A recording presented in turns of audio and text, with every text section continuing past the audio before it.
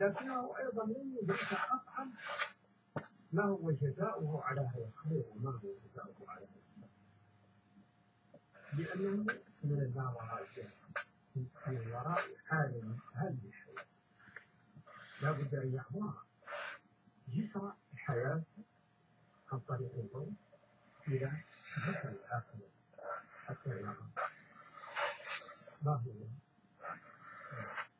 مدخر له من خير أو شر.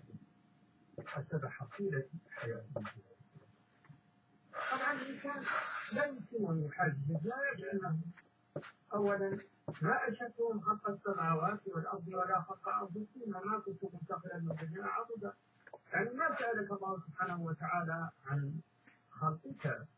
لم تستأذن لتبرز إلى نفسك. لكن الحكمة مقتضى. مبيدة مخلوقة في هذا الكون ليحذب الأمانة. هنا عرض للأمانة تعالى كما بسيطة لا أدنى أن يحملها وإطلقنا بها وحملها الإنسان إنه كما تقول After uh, speaking of again Allah subhanahu wa ta'ala, praising Allah and praising the Prophet he began by uh, speaking refuge in Allah subhanahu wa shaitan, and then by reciting the opening lines of Surah Al-Rahman, in which Allah subhanahu wa ta'ala says in translation, Al-Rahman, the merciful, has taught the Quran, he created the human being, and he taught the human being uh, articulation or the ability to speak.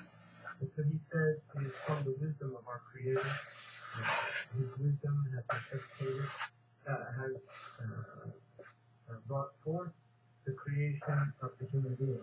Has kept this unusual creature, the human being, who from the most important aspects or characteristics of this creature is his ability to articulate what he has in his consciousness. And he said uh, that Allah subhanahu wa ta'ala uh, has created this creature and then facilitated for him his purpose. So we see that everything has a purpose. He said if we look at this uh, creature at the outset of his uh, journey in this ephemeral world, we find him in the uh, womb of his mother. And he said that in this womb, his hands begin to uh, be formed. And, and the formation of these hands is in order for him to, that in this world he will grasp things. His feet begin to be formed. And the wisdom behind that formation that begins to occur in the belly, in the belly of his mother is that he'll one, one day walk on his feet that his eyes begin to form in the womb of his mother, the purpose of which is that one day he will see with those eyes. His ears begin to be formed in the womb of his mother, that one day he will hear with those ears. And all of human that are fashioned in the womb of his mother. And then he said, is this possible without taqdeer? Is this possible without determination? That there is some, uh, some that there is a, a determining force and intelligence behind uh, all of this uh.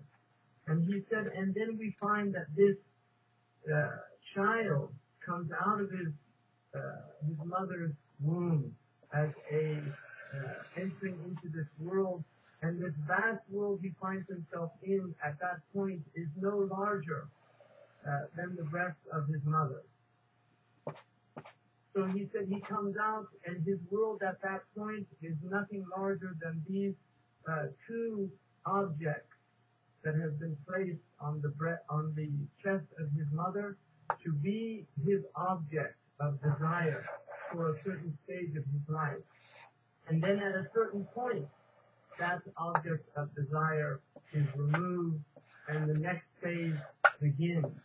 And so he, if you watch the phases of the human being, you see this extraordinary taqdeer from Allah subhanahu wa ta'ala. And then he said, it would be natural for the human being who would reflect on all of this that is occurring in his own self, that he should say naturally, I have been